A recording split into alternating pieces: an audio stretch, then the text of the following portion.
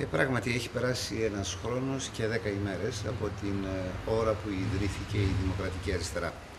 Μέσα σε αυτό το ένα έτος έχουμε καταφέρει να έχουμε σαφή και καθαρή την παρουσία μας στην πολιτική ζωή του τόπου, με τις θέσεις μας, τις προτάσεις μας, τις διεκδικήσεις μας και βεβαίως μέσα σε αυτό το χρονικό διάστημα πιστεύω ότι είναι δυναμική η παρουσία μας. Βρισκόμαστε ως κόμμα σε ολόκληρη την Ελλάδα, στην κυριολεξία σε ολόκληρη την Ελλάδα. Σε ό,τι αφορά τις ε, δημοσκοπήσεις, στις οποίες αναφερθήκατε, πρέπει να σας πω και όπως τις δημοσκοπήσεις τις αξιολογούμε και τις αποτιμούμε τη δεδομένη στιγμή, είναι εξαιρετικά θετικές. Mm Όλες οι δημοσκοπήσεις δείχνουν ότι η Δημοκρατική Αριστερά θα είναι παρούσα στην υπεύθυνη και υπεύθυνη στην επόμενη Βουλή. Πρέπει να σας πω ότι η πολιτική που χαράσουμε είναι πολιτική της ευθύνης απέναντι στη χώρα, στην κοινωνία και στους πολίτες.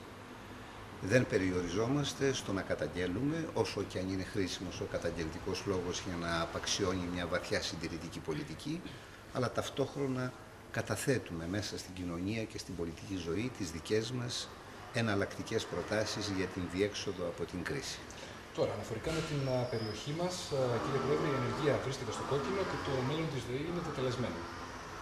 Ναι, η Κοζάνη, ο νομός Κοζάνης δυστυχώς κατέχει τα πρωτεία στην ανεργία. Ιδιαίτερα στην ανεργία των νέων γυναικών και των νέων ανδρών. Νομίζω ότι υπάρχει ένα θέμα αναφορικά με την περιορισμένη, την συρρυκνωμένη παραγωγική βάση της Κοζάνης και σε ό,τι αφορά την ΔΕΗ, σπέβδω να σας πω ότι η Δημοκρατική Αριστερά υποστηρίζει ότι η ΔΕΗ θα πρέπει να έχει κυρίαρχη και δυναμική την παρουσία του ελληνικού δημοσίου. Μια ΔΕΗ αναβαθμισμένη, μια ΔΕΗ η οποία θα μπορεί να διαδραματίσει έναν σημαντικό ρόλο στο ενεργειακό τοπίο πολύ δε περισσότερο όταν η ενέργεια είναι ένα κοινωνικό-πολιτικό μέγεθος το οποίο δεν είναι δυνατόν να εκχωρηθεί στα οποιαδήποτε ιδιωτικά συμφέροντα. Θα μπορούσε κανείς ε, πάρα πολύ συστηματικά να συζητήσει και να αντιμετωπίσει. Η Κοζάνη και όχι μόνο για την αντιμετώπιση της ανεργίας αλλά και για την αντιμετώπιση της ανεργίας με συγκεκριμένα στοιχεία και προϋποθέσεις να καταστεί ο νομός του ενεργειακού κέντρου της χώρας. Από την ε, ημέρα που δημιουργήθηκε η Δημοκρατική Αριστερά, ένα σημαντικό κομμάτι ανθρώπων, οι οποίοι είναι αριστεροί ή γενικότερα προοδευτικοί, έχουν μετακινηθεί πλέον ε, στο, στο κόμμα αυτό. Ε, υπάρχουν πολίτες οι οποίοι δυσανασχέτησαν για το κομμάτι ότι υπάρχει ένας κατακριματισμό της ε, ευρύτερης αριστεράς και ότι έτσι αποδυναμώνεται η φωνή. Κοιτάξτε, η δημοκρατική αριστερά δεν απαρτίζεται μόνο από πολίτες, άντρες και γυναίκες, οι οποίοι προέρχονται από τον χώρο από τον οποίο αποχωρήσαμε, το συνασπισμό. Συναρρυθμούνται στην δημοκρατική αριστερά, στρατεύονται στις απόψεις και στις ιδέες της και πολίτες που προέρχονται από άλλους χώρους, πολίτες που στις προηγούμενες ή και στις μακρινότερες εκλογές είχαν επιλέξει άλλα κόμματα. Προοδευτικοί πολίτες, ανένταχτοι αριστεροί και προοδευτικοί πολίτες, πολίτες οι οποίοι αναφέρονται στην σοσιαλδημοκρατία, στην αριστερή σοσιαλδημοκρατία, αλλά και στην πολιτική οικολογία. Είναι υπαρκτό το θέμα του πολυκερματισμού των δυνάμεων της αριστεράς. Η αντιμετώπιση του όμως δεν μπορεί να γίνεται γενικά, όριστα και με ευχολόγια. Ε, όλες οι δυνάμεις της αριστεράς δεν αθρίζονται, δεν είναι δυνατόν να αθριστούν στο ίδιο αποτέλεσμα. Και τούτο γιατί μεταξύ των δυνάμεων που αυτοπροσδιορίζονται ως δυνάμεις της αριστεράς υπάρχουν μεγάλες διαφορές, υπάρχουν ακόμη και αντίπαλες θέσεις.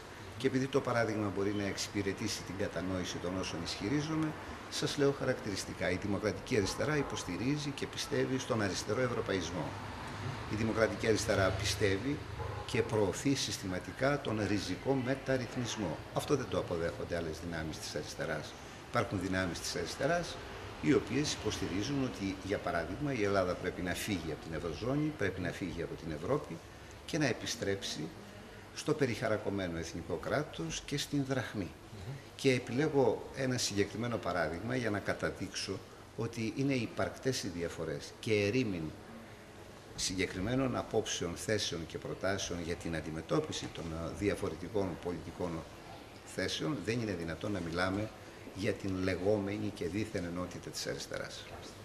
Στο σαφές πολιτικό στίγμα που έχετε αφήσει από την ίδρυση του κόμματος, αποτελείται μια ήπια και ουσιαστική φωνή που καταδικάζει τα φαινόμενα βίας από όπου και αν προέρχονται.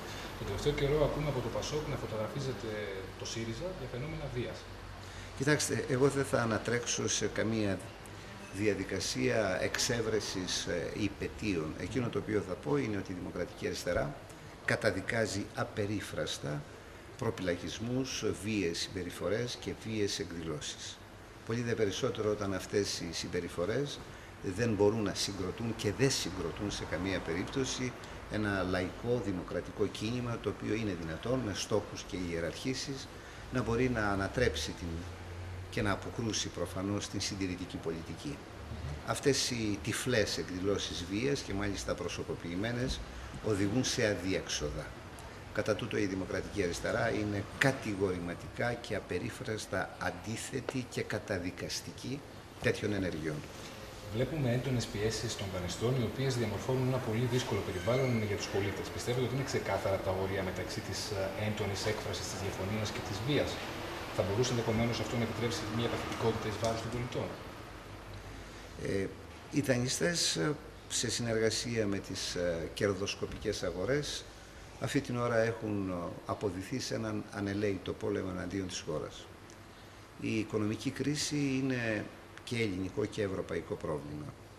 Και δεν είναι μόνο ελληνικό, είναι πρόβλημα όχι μόνο των ε, χωρών του νότου της Ευρώπης, αλλά και πολλών χωρών που αναφέρονται στην κεντρική Ευρώπη. Μην ξεχνάμε ότι πρόσφατα υποβαθμίστηκε από τους λεγόμενους οίκους αξιολόγησης η κατά τα άλλα υπερχρεωμένη Ιταλία. Η αντιμετώπιση της κρίσης πρέπει να γίνεται σε δύο επίπεδα, και στο ευρωπαϊκό και στο εσωτερικό της χώρας, δηλαδή στο περιεχόμενο της πολιτικής που πρέπει να ασκηθεί μέσα στην πατρίδα μας. Η Ευρώπη, η ηγεσία της Ευρώπης είναι κατώτερη των περιστάσεων και αν δεν αναλάβει πρωτοβουλίες για την επίλυση των προβλημάτων της διευρυνόμενης κρίσης, διότι υπάρχει κρίση χρέους σε ολόκληρη την Ευρώπη, τότε έχω την εκτίμηση ότι η Ευρώπη θα δοκιμαστεί έντονα, θα δοκιμαστεί η συνοχή της. Δεν θα επιτευχθεί η πολιτική επί της ουσίας ενότητά της. Και μια Ευρώπη η οποία δεν θα είναι πολιτικά και επί της ουσίας ενοποιημένη, θα έχει ελάχιστη έως μηδενική συμμετοχή στον διεθνή καταμερισμό της οικονομικής διαδικασίας, πολύ δε περισσότερο ότι είναι πολλές οι νέες αναδυόμενες οικονομικά χώρες. Σε ό,τι αφορά το εσωτερικό της χώρας, με την ε, ασκούμενη στο εσωτερικό της χώρας ε, οικονομική πολιτική, είμαστε ριζικά αντίθετοι με αυτά που πράττει η κυβέρνηση του Πασόκ. Δεν είναι δυνατόν να δικαιολογήσει ο οποιοδήποτε την ανισότητα κατανομής των βάρων. Δεν είναι δυνατόν να συμφωνήσει ο οποιοδήποτε με το γεγονός ότι δεν έχει ξεκινήσει η παραγωγική διαδικασία. Είμαστε αντίθετοι στη συνεχή προσθήκη φόρων αμέσων ή εμέσων, στην περικοπή αποδοχών, ε, συντάξεων, κοινωνικών δαπανών που αποδυναμώνουν και αποσαρθρώνουν το κοινωνικό κράτος. Όταν μάλιστα η φοροδιαφυγή καλά κρατεί, η παραοικονομία κατέχει περίπου το 30% του ακαθαρίστου εθνικού προϊόντος, η διαφθορά επίσης κατέχει το 10 έως 12% του ΑΕΠ. Θέλω με άλλα λόγια να πω ότι ναι μεν είναι υπαρκτό το έλλειμμα, είναι υπαρκτό το χρέος, αλλά η αντιμετώπιση του δεν μπορεί να γίνεται με τον τρόπο που η οικονομική πολιτική της κυβέρνησης του ΠΑΣΟΚ επιχειρεί να το αντιμετωπίσει. Τώρα, όσον αφορά στα, στα της περιοχής μας, υπάρχουν εκτιμήσεις ε, οι οποίες λένε ότι η Δημοκρατική Αριστερά θα μπορούσε να διεκδικήσει την πέμπτη έδρα του, της περιοχής. Ε, πόσο αισιόδοξος είστε ε, Το φιλοδοξούμε και το παλεύουμε. Έχουμε αξιόλογα στελέχη στην περιοχή. Ε, ήδη μπροστά σας βρίσκεται και η γραμματέας και μέλος της Εκτελεστικής Επιτροπής η κυρία Τσικαρδάνη αλλά όχι μόνο η κυρία Τσικαρδάνη, αλλά και άλλα εκλεκτά στελέχη, τα οποία νομίζω ότι έχουν την κοινωνική παρουσία τους και μπορούν να προσδιορίσουν με σαφήνεια το τι είναι η δημοκρατική αριστερά, τι επιλέγει, τι προωθεί και τι διεκδικεί, όχι μόνο για την περιοχή του νομού Κοζάνης, αλλά για τη χώρα συνολικότερα. Υπάρχουν σημεία σύγκλησης της Δημοκρατικής Αριστεράς με άλλα κόμματα στις εκλογές, ή θα έχουμε μια ε, κάθετο ε, μόνη η παρουσία μας θα είναι αυτόνομη. Θα κατέλθει στις εκλογές η Δημοκρατική Αριστερά με τις δυνάμεις της, βεβαίως σε συνεργασία και με άλλους πολίτες οι οποίοι προέρχονται από διαφορετικούς πολιτικούς χώρους, με τις ιδέες μας, τις προγραμματικές μας θέσεις, τις διεκδικήσεις μας. και μια τελευταία ερώτηση αναφορικά με την ανάπτυξη, η οποία είναι το ζητούμενο, την οποία δεν την βλέπουμε δυστυχώς ούτε στην περιοχή ούτε στη χώρα. Συγκεκριμένες θέσεις, πώς μπορεί να επανέλθει η ανάπτυξη στην χώρα. Ναι, η Δημοκρατική Αριστερά έχει καταθέσει δημόσια 28 θέσεις προτάσεις για την αντιμετώπιση της κρίσης. Ένα μεγάλο μέρος αυτών των προτάσεών μας ε, αφορά στην αναπτυξιακή διαδικασία η οποία πρέπει να ξεκινήσει και με ευθύνη της κυβέρνησης του Πασόκ δεν έχει ξεκινήσει εδώ και 20 και πλέον μήνες. Ήδη έχω προτείνει, έχω προτείνει και μέσα στη Βουλή και έξω από τη Βουλή, αλλά και στην πρόσφατη συνάντηση που είχαμε τον Πρωθυπουργό, τον κύριο Παπαντρέου, στο πλαίσιο των συναντήσεών του με τους πολιτικούς αρχηγούς. Πρέπει να διεκδικηθεί και είναι ρεαλιστικό, σας βεβαιώνω ένα πενταετές αναπτυξιακό πρόγραμμα το οποίο θα χρηματοδοτηθεί και αυτό είναι εξαιρετικά δυνατό από την, τράπεζα, από την Ευρωπαϊκή Τράπεζα Επενδύσεων με αξιοποίηση του ΕΣΠΑ το οποίο δυστυχώς κοιμάται, βρίσκεται σε βαθιά ύπνωση και με την έκδοση ενός ειδικού επενδυτικού ομολόγου. Ένα κομμάτι αυτής της αναπτυξιακής διαδικασίας θα μπορούσε αυτού του αναπτυξιακού προγράμματος να μετακινηθεί σε μια περιοχή όπως είναι ο νομός Κοζάνης, και αναφέρομαι στον νομό Κοζάνης όχι γιατί βρίσκομαι εδώ και πρέπει να έχω ε, φιλόφρονα λόγο προς την περιοχή, αλλά γιατί επαναλαμβάνω. Η Κοζάνη είναι η τραγική πρωταγωνίστρια στην ανεργία, ιδιαίτερα στην ανεργία των νέων ανδρών και των νέων γυναικών. Σας είπα λίγο πριν ότι ο πρωταγωνιστικός ρόλος της ΔΕΗ στην ενεργειακή διαδικασία θα μπορούσε και αυτός να συντελέσει στην αντιμετώπιση πάρα πολλών ζητημάτων. Αλλά δεν είναι μόνο αυτό. Η Κοζάνη έχει δυνατότητες, ο νομός Κοζάνης, και στην πρωτογενή παραγωγή, στον πρωτογενή τομέα. Και αναφέρομαι επιλεκτικά στον τομέα της κτηνοτροφίας, που πρέπει να στηριχθεί, πρέπει να αναπτυχθεί και πρέπει να διευρυνθεί η παραγωγική βάση του νομού. Αυτό είναι δυνατό, είναι εφικτό, με την προϋπόθεση ότι θα προγραμματιστεί, θα σχεδιαστεί, όχι για να παραπεμφθεί η ανάπτυξη της περιοχής στις καλένδες, αλλά για να ξεκινήσει άμεσα.